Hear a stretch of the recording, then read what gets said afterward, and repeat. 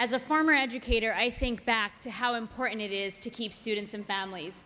But as someone who has also walked in a mall and seen a child who is lost, who has panic in their eyes, who is crying, I know that the right thing to do is to reunite them with their family.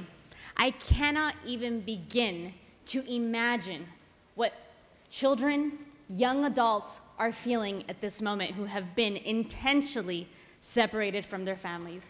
This resolution is more important than ever because so many in our communities are witnessing what it feels like to be scared, to panic, to see kids separated from the individuals that most matter in their lives. There are no short term or long term gain. We all lose, the families lose, the kids lose.